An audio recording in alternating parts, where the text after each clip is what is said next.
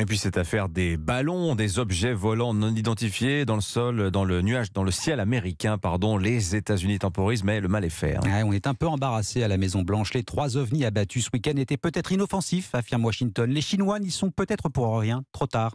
Irrité, la Chine accuse à son tour les Américains de se livrer aux mêmes méthodes. Sébastien Le Belzic, correspondant d'Europe 1 à Pékin. Ces accusations du porte-parole de la diplomatie chinoise font les gros titres ce matin encore de la presse nationaliste comme le Global Times, porte-voix du Parti communiste, qui appelle les États-Unis l'empire de l'espionnage. C'est dire le niveau de tension ici.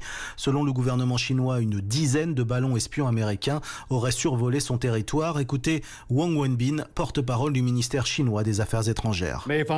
Depuis le mois de mai de l'année dernière, sans l'approbation des autorités chinoises, les États-Unis ont lancé plusieurs ballons qui ont survolé illégalement l'espace aérien de la Chine à au moins 10 reprises. La partie américaine doit mener une enquête approfondie et fournir une explication à la Chine.